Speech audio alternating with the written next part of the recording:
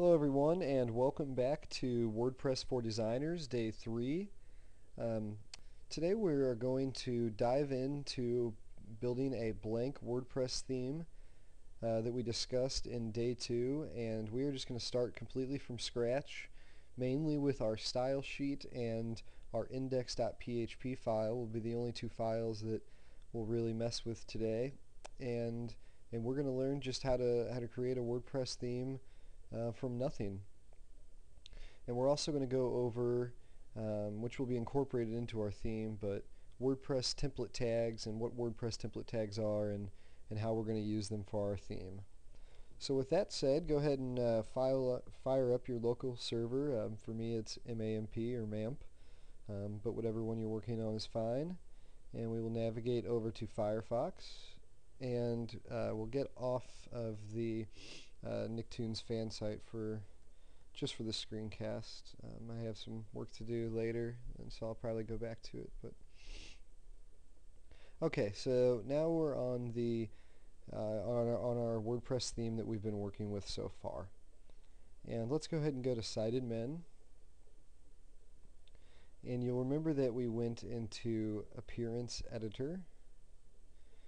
Now if we go into here and we start to make our own theme, it, it's almost overwhelming how many theme files there are and, and to really know which one to edit or clear out first and, and where to get started. So instead of even messing with any of any of these theme files, we are going to uh, create our own theme completely from scratch and we're going to start with the style sheet for that, which we'll get to in just a second. But one thing I want to point out as we get started here is if we go into Appearance and then Themes, when we scroll down, we'll, we'll notice that the themes have have a link in their name and a screenshot here and then some tags and a description of the theme. And our kind of our first step into setting up our theme is to get that information set up. So with all of that said, let's let's start from scratch and we'll take it real slowly here and let's start creating our our new uh, WordPress theme. Uh, we'll open up Coda and keep in mind for now we're not going to worry at all about how the theme looks or or really any of the, design elements of any or anything like that until we get a lot further into this. So we'll go to the WordPress folder and remember we'll go to WP content and then to themes to get into our main theme uh, folder. And you can see there are two themes that we have there by default. Let's just go ahead and create a new directory. Let's create a new folder and let's call it uh, whatever we want to call it. We'll just we'll call it WordPress Forest, all one word. Okay, so now that we have our new um, theme directory, we will come in here and create a new file, call it style.css, and we'll drag this to the WordPress Forest folder. Okay, so now we have our WordPress forest folder and style.css page. What we need to do now is open up our style.css and we need a way to tell WordPress what our theme name is and our description of our theme and uh, and uh, the tags and a little bit more about our theme. So first we'll we'll do a, some comments in style in our style sheet and I'm sure you all know how to do comments in uh, CSS files. And it's very important that you type this next part as, as you're about to see it so WordPress can get all the correct information from your style.css file. So the first thing we'll do is we'll type theme name colon and we'll just call this uh, WordPress forest which is kind of what I've been calling these test themes we've been doing. And the next thing we'll type in theme capital U-R-I colon and uh, we'll just say http blog.themeforest.net and now we will uh, we'll go ahead and do our themes description. And this is where we'll sort of uh, you know just describe uh, just a quick one or two sentences what our theme is. And we'll say a a sample WordPress theme for themeforest.net sounds good to me version of our theme, what, what version uh, our theme currently is. Uh, we'll type Actually, let's we're 4.0. We're we're we're way too cool for 1.0. Uh, so we're we're gonna go 4.0 for now. Just that seems to be the thing to do. Author is going to just use my name. It's pretty self-explanatory. And you'll do the author, capital U-R-I, uh, and I'll just put my one of my websites here. And lastly, we have tags. And tags are just uh, kind of keyword descriptions of your theme in, in, case you plan on sharing and submitting your a free theme to the uh, WordPress uh, theme directory. So, you know, ours is boring, dull, void of life. Um, I think that describes the, the, theme that we have going on so far right now um, pretty well. But hopefully we can get in there later and and change those. Okay, so we will save our style.css. And now what we will do is we will navigate over to Firefox. And we'll click Appearance, Themes. Okay, now we don't see our theme yet. And if we scroll down, you'll see broken themes. The following themes are installed but complete. Theme must have a style sheet and a template. Well, we're missing a template. In other words, we're missing at least one file. In this case, our index.php file. So before we can activate our new theme, we need to make an index file. So we'll come over to our WordPress forest folder, our theme folder, and we'll go ahead and make a new file, and we'll name that index.php. Okay, we'll go ahead and open up index.php and I have a pre-made uh, template I'll just open up here. An HTML kind of template so I don't have to type all the all the boring stuff in. I think that's it. Okay I'll just copy this. I'll paste it into index.php and I'm going to go ahead and get rid of all the styles the reset here. And we won't be using any jQuery um, yet, so we'll get rid of that. And we don't really need any of these meta tags except for the content type, so we'll get rid of that. And we'll change our uh, title here to WordPress Forest for now, but we're going to come back to the title tag very soon and see how we can change that. And we don't really need this div ID of wrap um, as we don't have any content to really display yet with our new theme. So let's go ahead and save our index.php file just as is, a super simple um, you know, HTML or PHP file, but just basic HTML in it so far. Let's navigate back over to Firefox and let's refresh our themes page. Okay, now there's WordPress Forest, a sample WordPress theme for themeforest.net. Boring, dull, and void of life. Um, that, that would sound right. But there's no screenshot here. So how do we get the screenshot to show up for our theme? Well, I'll go ahead and minimize Firefox and minimize Coda here. And, and I have a pre-made screenshot that I'm going to use, but all you need is an image that's about, about 300 by 225 pixels. And um, we will go to, I'll go to my local server here, which is MAMP, htdocs, WordPress, WordPress content.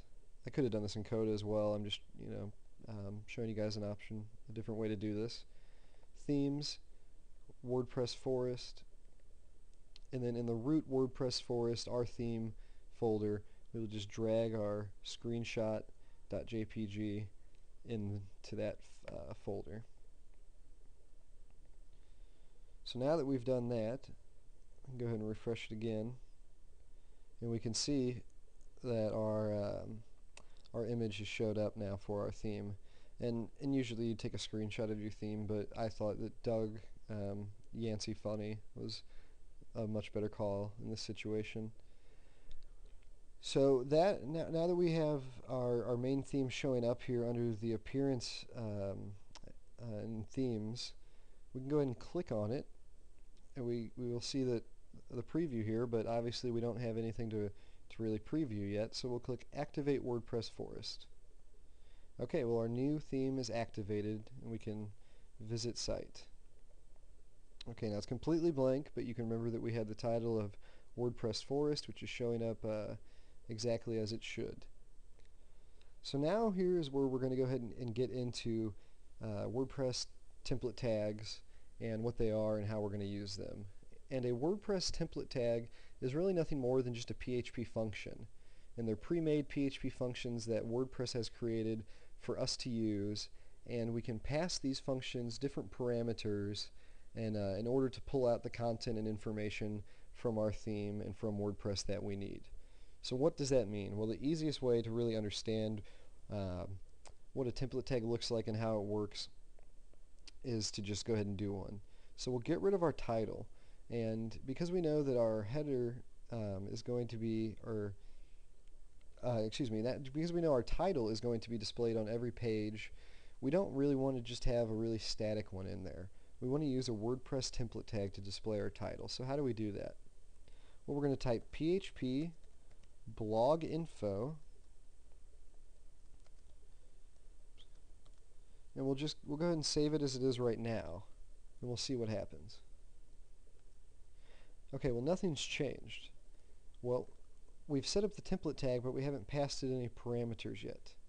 And we passed the parameters right in between the parentheses that you see here with some quotes. So now we'll do PHP blog info and we'll do name for our blog name. We'll save this and we'll see what it does. Okay, well it's still showing WordPress Forest, but it's actually doing something differently here. And if we go to WP admin and we scroll down to settings and click general, okay, you can see our blog title is WordPress Forest. So to demonstrate what that template tag is doing more, I'm going to change this for a second and call it uh, testing uh, WordPress Forest. Click Save Changes. Okay, let's visit our site again. Okay, now you can see it's showing up as testing WordPress Forest.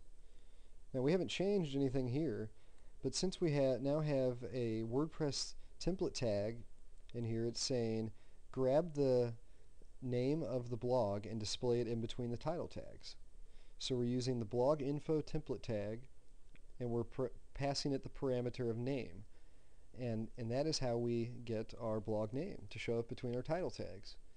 So that should uh, give you uh, your first real dose of a WordPress template tag and we are going to use these all the time from now on and, they, are going to be a huge help um, to us when developing our theme and they're just pretty much you know vital parts of our theme. So if we go back we can see that the title tag is now being pulled um, from the WordPress template tag blog info name. What are a few other things that we can do with what we have so far and WordPress template tags? Well, we haven't even linked to our style sheet yet. The normal way we would do this is to give it a link rel of you know, style sheet, and give it an href of what path it's at, and uh, that would be, if we remember, WP content, themes, WordPress, forest, style.css. The type would be text slash CSS.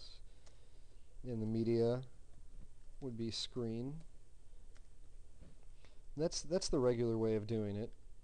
And that will work if we pull it up here in Firebug. Um, let's go ahead and add a style to our style sheet so we can we can uh, be sure that it's sh it's showing up. Whoops and we won't even fill anything. We'll just give it an ID of wrap. Go back to Firefox and refresh here. Okay now we can see that wrap uh, is showing up in Firebug. So our CSS file is getting linked to but it's kind of a pain to keep track of and change these uh, these relative paths. And we can really accomplish this a lot easier. So what we're going to do is we're going to get rid of all that uh, inside the href tag, we're going to put PHP.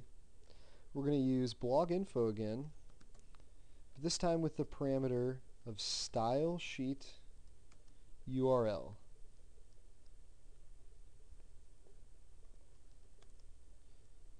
Okay, and let's go ahead and save that and refresh. Open up Firebug again. Okay, and we can see our, our style sheet is still showing up.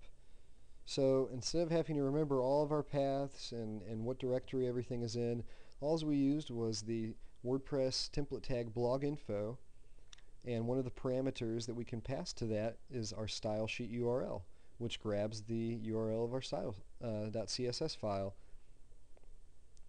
So you can start to see the uh, dynamicism that WordPress is bringing in um, and giving us uh, the power to really um, be flexible with our theme.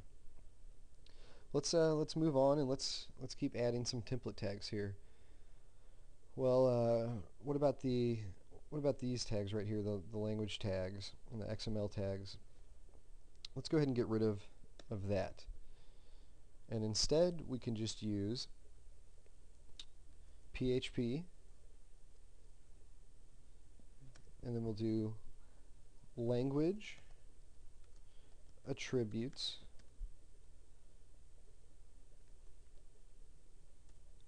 just like so. And we'll save it again. And now if we refresh the page again and we come into HTML, we can see that the first line right here has been filled in for us by WordPress. It's given a language of English, direction of left to right, and so we've used another template tag to do that for us. Let's go ahead and use one more here and let's do it for the content type, the content meta tag right here.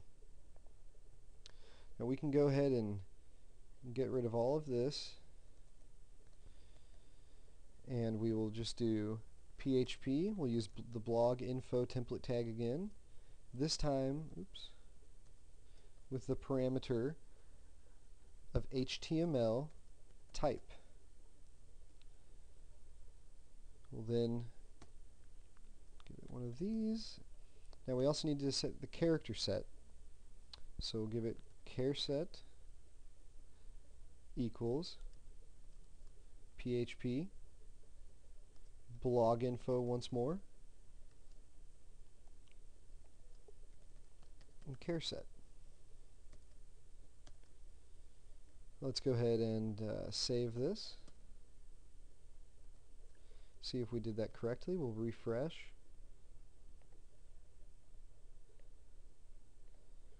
and yes, we can see that it set the meta uh, content type um, to just what we had it to before, but without us having to actually insert it. So, so we can start to see how template tags work and how they can be extremely useful to us in keeping our theme really dynamic and uh, and not having to use any static information, especially when it comes to linking to stuff like your style sheet URL um, and things of that nature. Um, and we are going to dive into a lot more of that tomorrow. So if you're looking for some resources or extra homework, if you're following along, if you go to wordpress.org, you might wonder how, how we know all the parameters and template tags. And the easy answer is just to check out the docs. And it's kind of just one of those things that you learn as you go along and, and you learn about new template tags that you can use and which ones uh, you know, will work for you in certain situations. So if we go to wordpress.org and click docs, and we scroll down, and I think it is under design and layout. Yes. Okay, under design and layout, you'll find template stepping into template tags or template tags. If we click on template tags, we get all kinds of information here and a huge list uh, and resources of all of the available template tags. And uh, you'll see right here under general tags, blog info is one that we'll use quite frequently as it's pretty helpful for figuring out information about our blog and, uh, and pulling out certain information as we've shown today. So just to recap what we've done today, to go back over it, template tags are nothing more than PHP functions set up by WordPress that accept certain parameters depending on the on the information you need. So for example, in our title tags, we used blog info. We passed it a parameter of name, telling it to grab the name of our blog, and we're putting it in between title tags to display the title of our blog. Um, we did the same thing for our content type on our meta tags. And we also used it to help us figure out where our style sheet um, and what path our style sheet was located in so we don't have to keep track of that. We used blog info and with the parameter of style sheet URL. So again, um, I encourage you to go to wordpress.org, uh, check out the docs, and uh, and really do you know get into template tags and, and just kind of get in here yourself and and try to see which ones you think are going to be really helpful down the road. And tomorrow we will get into actually putting in some content in between here and using what is known as the WordPress loop for day four. So uh, you want to stay tuned for that. If you're enjoying uh, these articles, you can always subscribe, or these screencasts, excuse me, you can always subscribe to our RSS feed. And that will be it for now. Um, you can go back to themeforest.net or uh, the uh, Doug fan site if uh, that's what you're into. So that'll do it for day three. Stay tuned for day four tomorrow when we're working with the WordPress loop, and have a great day.